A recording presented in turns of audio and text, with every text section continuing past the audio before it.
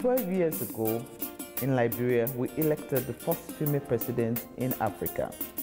Recently, President Ellen Johnson Sirleaf said, women participation has gone down in her national legislature.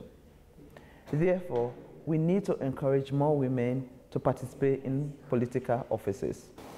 Through our series, Women Changing the World, we engage female presidents and other women who have run for presidential office from across the globe. Our culture, and probably in Africa too, females seen like they have to take care of the house, of the children, of the elderly, if there is somebody with disabilities, with disabilities. So it's, it's, it's not easy because people will punish socially women who will want to go into something different. Women who work the whole day, women who go into politics. The first challenge for you as a woman candidate is to get women to vote.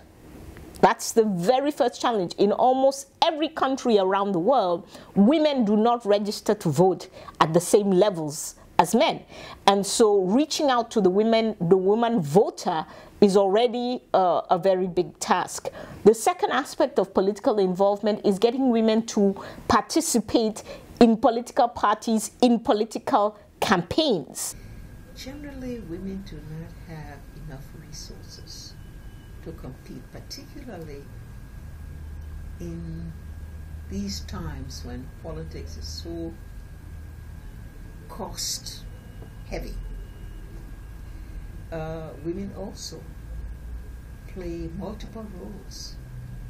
When they compete in politics, they are professional women, they still have to do their professional duties.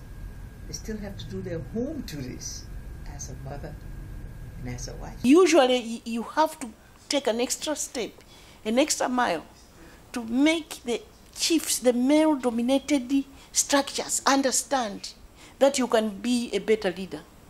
And we are better leaders. And, but they get to understand once we are elected. Before then, there's the doubt, the patriarchy, the, the, the, the mindset to say, how can we have a woman as member of parliament?